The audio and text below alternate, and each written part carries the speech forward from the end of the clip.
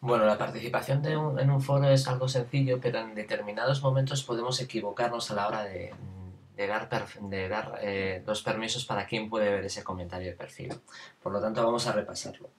En el caso en el que yo tenga que hacer una, una publicación en un foro, pero me piden que sea respondiendo al, de- al que previamente ha hecho mi tutor, nada, tendré que entrar en un, en un foro, voy a suponer que estamos en el foro de nos presentamos, bueno, y mi tutor ha hecho una presentación, ¿vale? Entonces, en este caso, yo daría en el tema, ya que me piden que responda el mensaje del tutor, daría responder. Y yo, tendría que dar mi- hacer mi presentación o entregar la URL de mi presentación X. Eh, me llamo Raúl. Y directamente eh, lo podría ver las personas que, que estén, en, que estén en el grupo de mi tutor, porque solo mi tutor eh, está vinculado a un grupo. Por lo tanto, dar la respuesta a un tutor significa que solo lo pueden ver esos tutores. Eso es una, eso es una forma de, entregar una participación en un foro.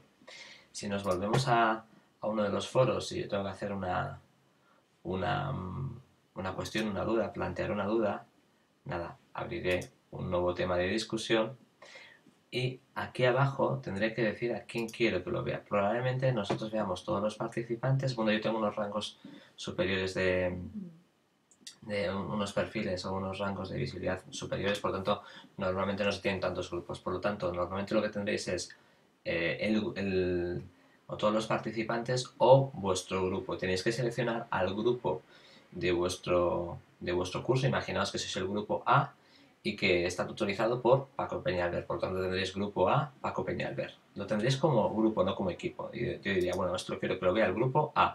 Y tendréis al, entre paréntesis el nombre del tutor. Por lo tanto, cuando ya haga una duda, cuando formule una duda, la verá solo eh, el grupo de mi tutor. Es decir, solo mi grupo.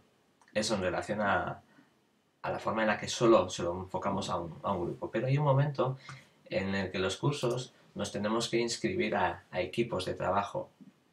¿Veis? En este momento yo tengo que, que unirme a un, a un grupo de trabajo. Yo, imaginaos, pertenezco al grupo 1, tutorizado por Paco Peñalver, pero me dicen que me, que me inscriba a un equipo. Por lo tanto, cuando tenga que hacer trabajos en, en equipo, eh, un foro de trabajo en equipo que tenemos aquí, cuando yo, si pertenezco al grupo A, al crear un nuevo- una nueva discusión, una cosa es que pertenezca al grupo A, pero otra cosa es que pertenezca a un equipo. Por lo tanto, tendré que seleccionar ese equipo. Yo pertenezco, al equipo 1.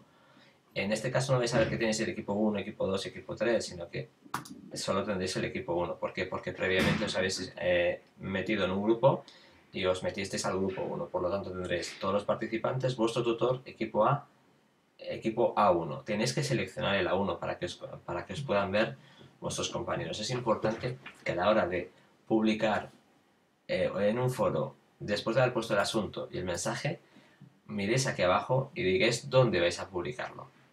Las opciones no van a ser tantas como las mías. Vais a poder publicar en vuestro grupo o en vuestro equipo. Por favor, publicar en equipos cuando estéis trabajando en equipos de trabajo y publicar en grupos cuando lo estéis haciendo directamente con vuestro, con vuestro tutor.